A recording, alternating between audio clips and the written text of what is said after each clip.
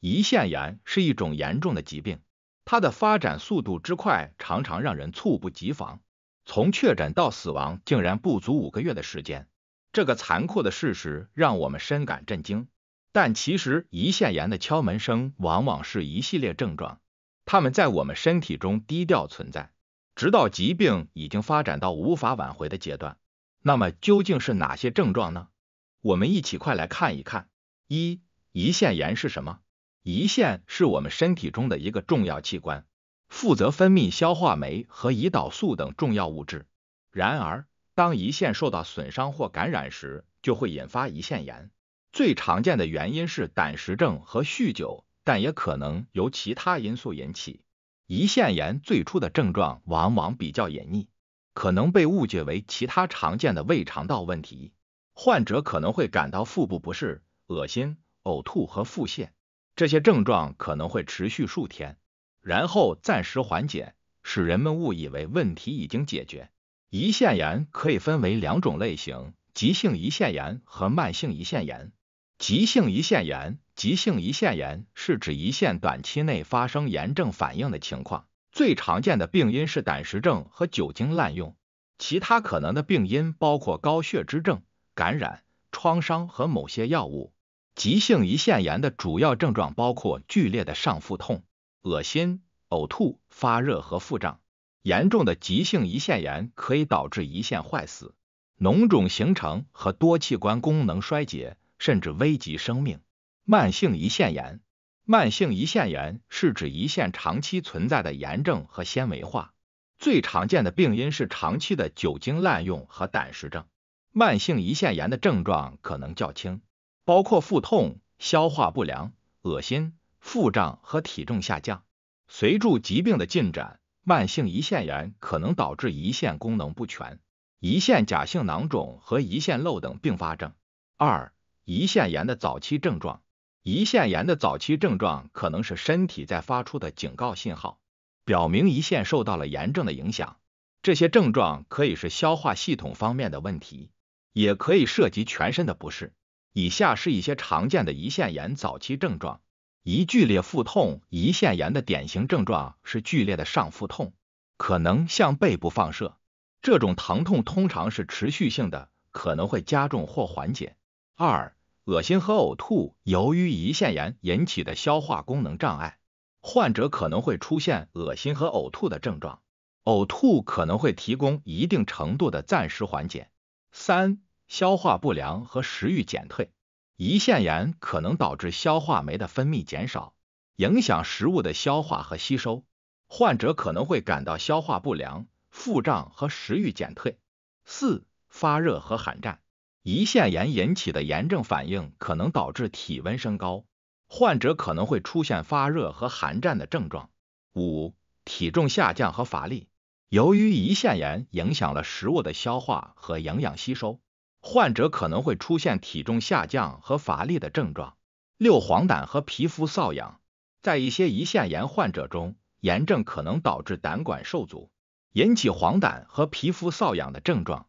三、确诊和治疗，一确诊胰腺炎通常需要综合使用以下方法：临床症状评估，医生会询问患者关于症状、疼痛的性质和位置，以及可能的诱因和病史。身体检查，医生可能会进行腹部触诊和其他身体检查，以评估腹部的压痛和肿块等体征。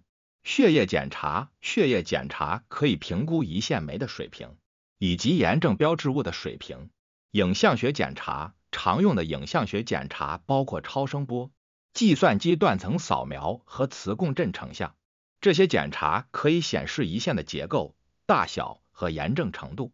有创性检查有时需要进行内镜逆行胰胆管造影或经皮穿刺胰腺造影等有创性检查，以进一步评估胰腺的状况。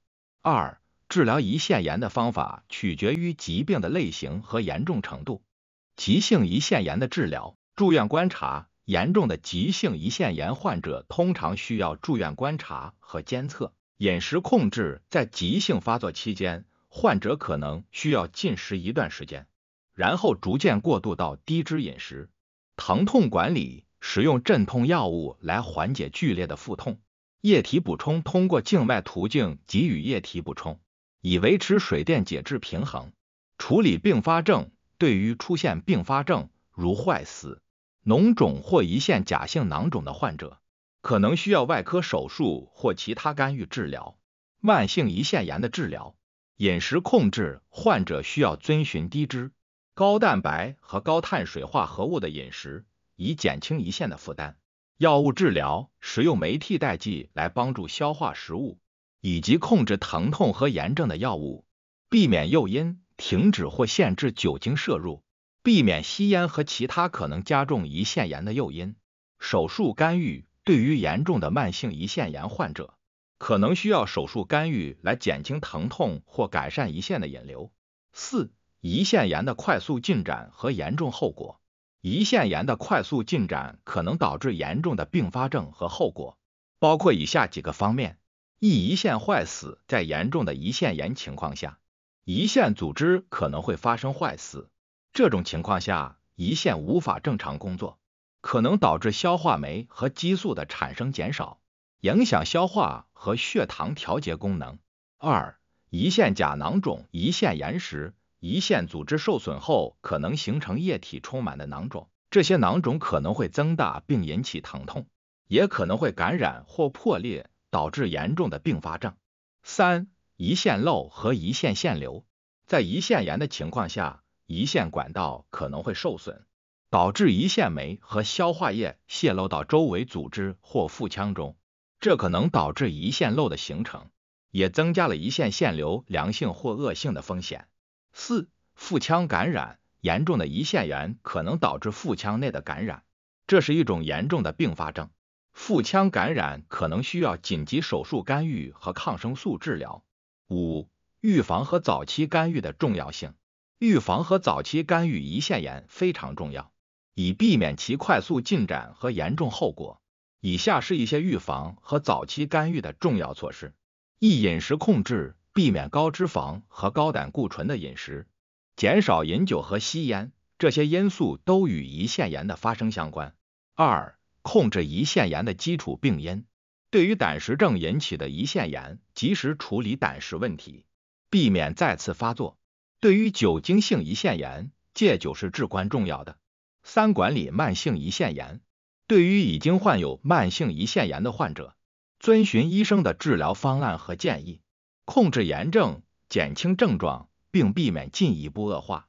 四、及早就医。如果出现胰腺炎的症状，如剧烈腹痛、恶心、呕吐等，应及时就医进行诊断和治疗。早期干预可以防止炎症进一步恶化，并减少并发症的风险。胰腺炎的发展速度之快是一种残酷的现实，也提醒着我们对健康问题的重视。任何看似普通的症状都可能隐藏着严重的疾病。如果你身体出现不寻常的不适，尤其是与消化系统有关的问题，请及时就医，寻求专业的医疗建议。早期诊断和治疗是预防胰腺炎等严重疾病发展的关键，也是保护我们健康的重要一步。